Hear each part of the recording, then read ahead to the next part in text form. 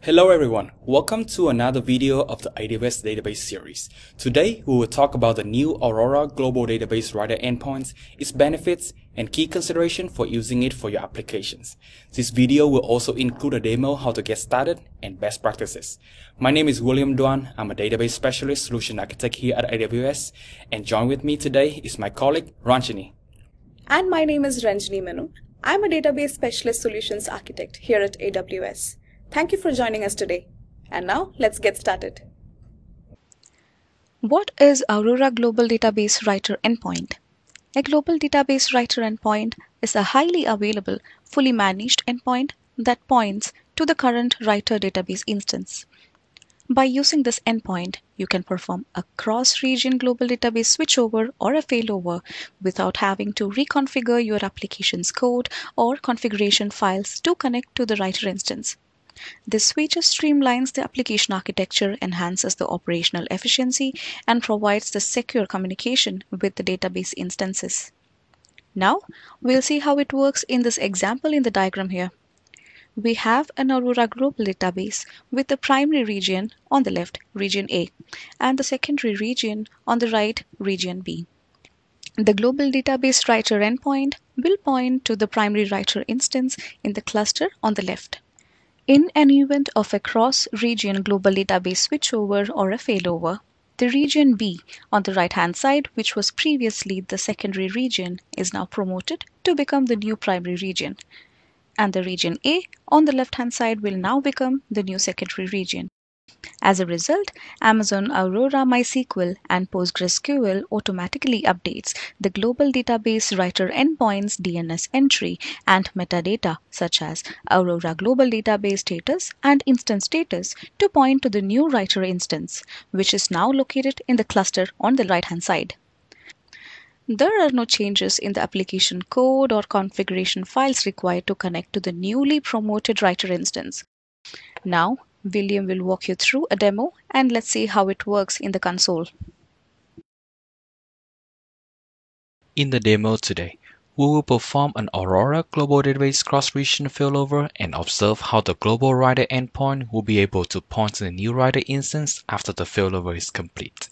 The database we will be working with today is MySQL 308 Global, running Aurora MySQL version 3.08 with the primary cluster located in the US East 1 region and the secondary cluster in the US West 2 region. Under Connectivity and Security, you can find the Global Database Writer endpoint which is automatically created for your global cluster. The global cluster endpoint is currently pointing to the primary instance MySQL 308 US East 1 instance located in the US East 1 region. On another tab, I have connected to an EC2 instance and will use this as a Bastion host to connect to our global database cluster. Here, I have created a Python script that is connecting to the database using the global writer endpoint. And it is pinging the database approximately every one second and checks the role and region of the primary instance.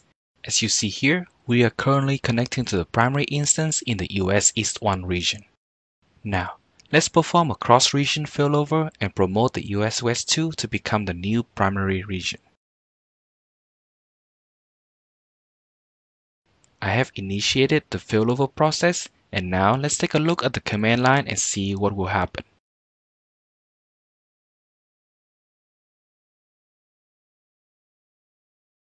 Now we see an error message about cannot connect to the database.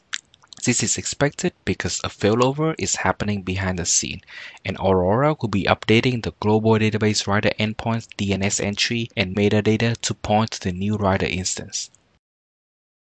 Here we go. The failover is complete, and we are able to connect to the new primary instance in the US West 2 region using the same global database writer endpoint.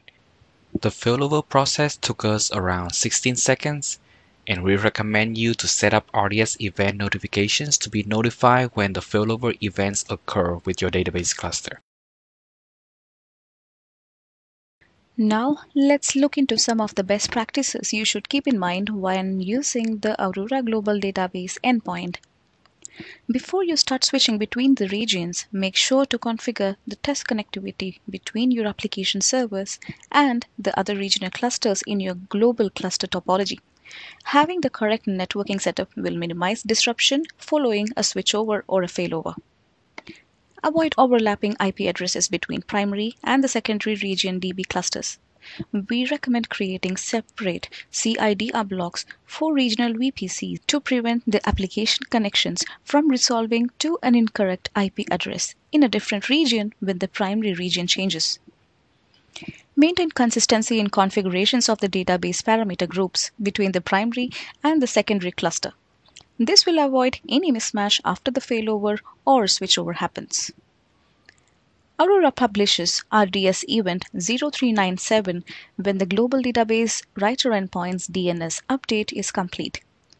Monitor this event to manage your application's DNS cache and ensure proper endpoint resolution. During the global database failover, Aurora halts write to the primary cluster and emits RDS event 0390 on success or RDS event 0391 on a timeout. These events are recorded on the old primary if it is reachable or otherwise on the new primary, helping monitor potential split brain scenarios. To learn more about the Aurora Global Database Writer endpoint, you can find the links to our blog post and documentations in the description below. And that's also an end to our video today. Thank you so much for watching and see you next time.